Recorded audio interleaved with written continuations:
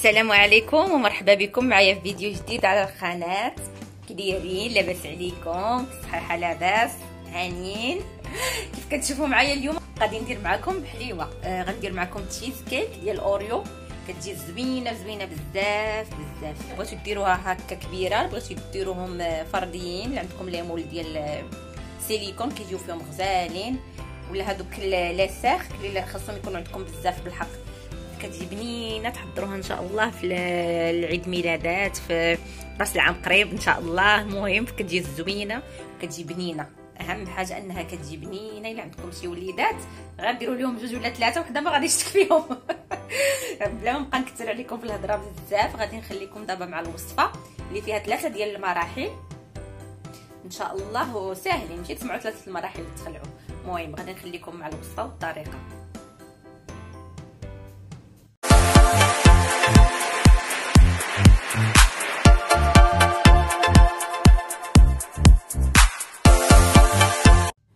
بالنسبة للمقادير غادي نقسمهم على ثلاثة ديال المراحل. عندي أول مرحلة هي la base غادي ندير 120 200 غرام ديال بسكوي أوريو. ولا أي بسكوي هكا يكون كيشبه ليه بالكاكاو. وعندي هنا 100 غرام ديال الزبدة. دا غادي ندوبها وغادي نطحن هاد 200 غرام ديال البسكوي. ونتلاقى معكم باش نوريكم من بعد المرحلة الموالية. كيف كتشوفوا ها هو البسكوي ديالي ها هو طحنته. هو من بعد ما تطحن صافي الزبدة ها هي دايبة. دابا غادي ندوز غادي نخلطهم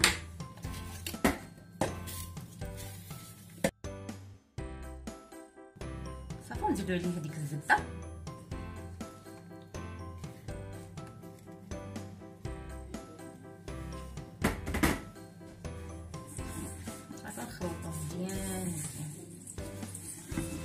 صافي دابا من بعد ما خلطت البسكويت ديالي مزيان. غادي ندوز نغلف القالب ديالي بالورق الغذائي. أنا déjà هنايا وجدتو درت ليه واحد la bande بحال هكا ديال الورق الغذائي هكا في الجنب. وديجا قطعت واحد الدوارة على قد القاعدة ديال ديال الطاوه ديالي. صافي.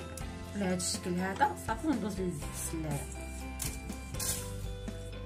صافي غادي ندوز نقادو نحاول نقادو كامل تجيني تبقى كلها مقاده ما يجينيش جهة طالعة وجهة هابطة.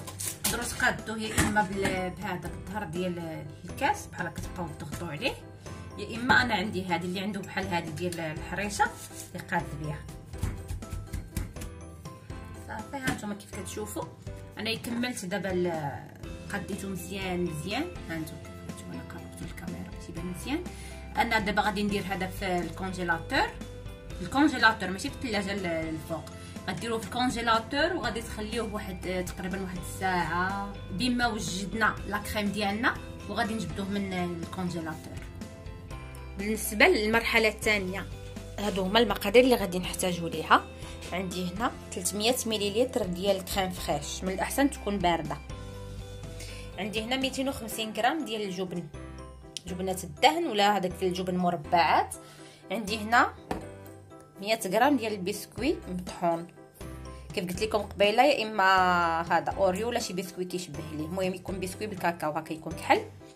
عندي هنا جوج معالق كبار ديال السكر glacé عندي هنا ثلاثة المعالق كبار ديال الماء طايب عندي جوج وراق كبار ديال ديال جيلاتين. جوج وراق اللي ما عندوش الوراق اللي عنده غبرة يدير جوج معالق صغار. عندي هنا جوج معالق ديال سكر vanillé. جوج معالق صغار أول حاجة غادي نديرها بعدا غادي ندير هاد الوريقات ديال الجيلاتين يذوبوا في الماء.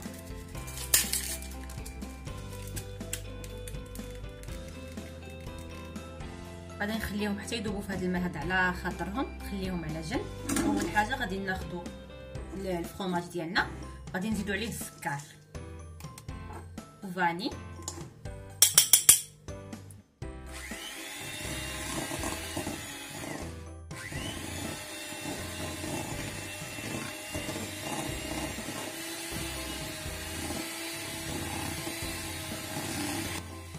هذه المرحلة هذه وحنا كنطربوا نبقاو كنزيدوا الكريم فريش غير بشوية بشوية كيف كتشوفوا الفيديو.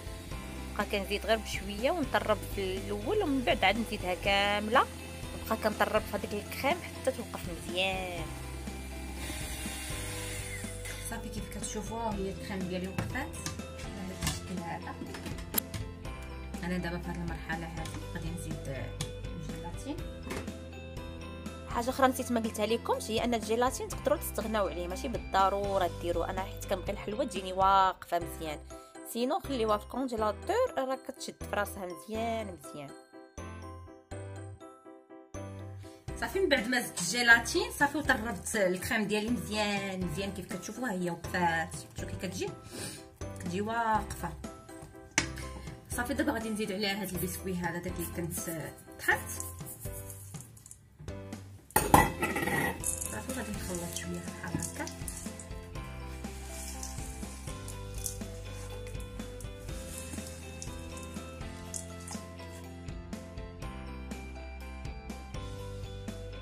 صافي هي لاباز ديالي كيف كتشوفوها هي ولات قاصحه ولات مجمده مزيان صافي دابا غادي نزيد على الكريم هذه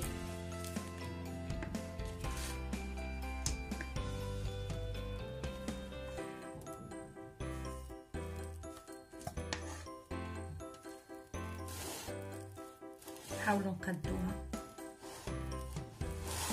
مزيان مزيان. نديرو طبقات تكون ساوية. باش تزينها زوينة حتى في الشكل ديالها. صافي أنا قديت الكريم ديالي عاودت قديته بهذه اللي قديت بها قبيلة لاباز صافي. دابا غادي نديروها في الكونجيلاتور. إلا استعملتوا الجيلاتين خليوها غير واحد الساعتين كتكون موجودة. إلا ما استعملتوش الجيلاتين خليوها خمسة ديال الساعات ربعة خمسة ديال الساعات عاد تقدر تكون موجودة. حيت الجيلاتين دغيا كتجمع الحاجة. إلا ما استعملتوش خليوها ربعة حتى لخمسة ديال الساعات.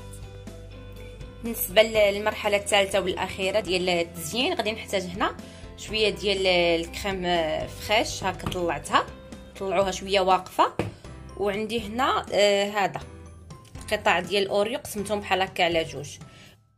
الحليوة ديالي. ها هي صافي جبتها من ال congélateur بعد ما خليتها واحد الساعتين حتى كتشد في راسها مزيان مزيان.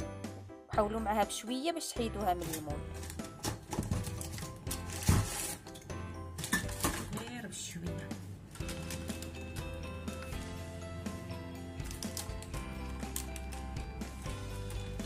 قلت لكم هذا الورق هذا كيعاون بزاف بزاف باش كتسهل علينا هذا.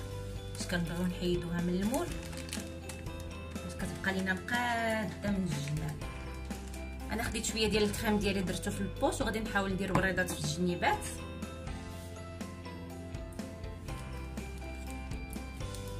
كيف قلت لكم الزوق كيبقى على حساب كل واحد على حسابكم نتوما.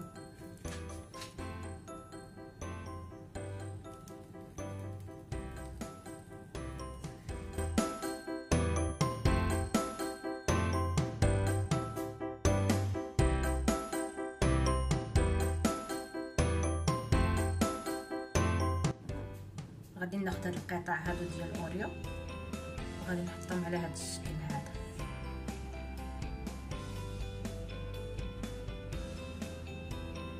كيف قلت لكم نتوما الزواق على حسابكم نتوما. كل واحد يدير الزواق على حساب هو. الذوق ديالكم. تقدروا ديروا حاجة تزيدوا حاجات تنقصوا حاجات. كل واحد يدير اللي بغا غادي ناخذ شوية ديال البسكوي هكا مفرتت حتى هو مطحون غادي نحاول نديرو هكا الوسطانيه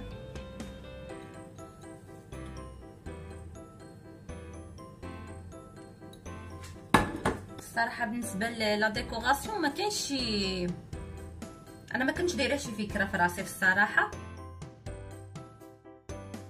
دابا أنا كندير وأنا كل شوية كتجيني شي فكرة.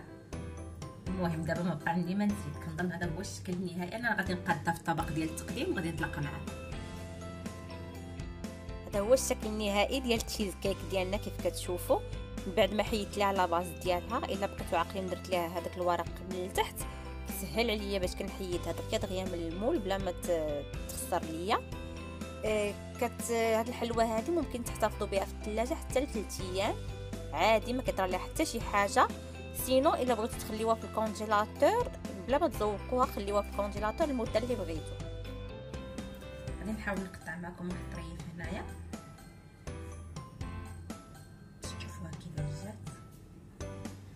ما تنساوش انكم ملي تخرجوها من الكونجيلاتور ضروري تخليوها واحد شوية بما تلقات راسها عاد تقدروا تقطعوها.